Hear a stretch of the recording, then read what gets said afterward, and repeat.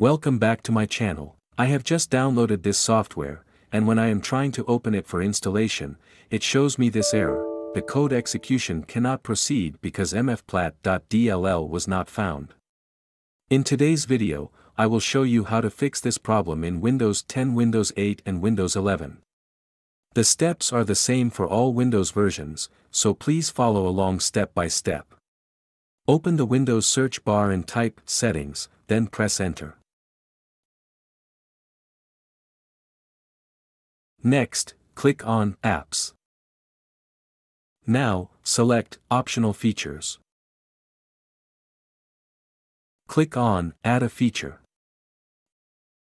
In the search bar here, type Media Features Pack.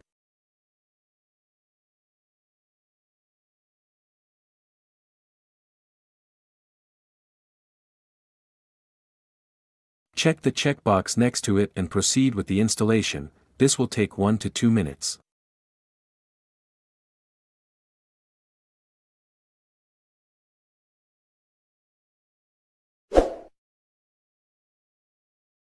After the installation of the Media Feature Pack, you'll need to restart your PC.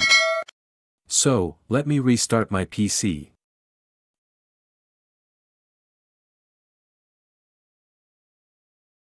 After the restart, I am opening my software for installation, and it's working perfectly. This is how you can fix the mfplat.dll error. If you liked the video, then thumb up to the video and subscribe my channel for more video. Thank you.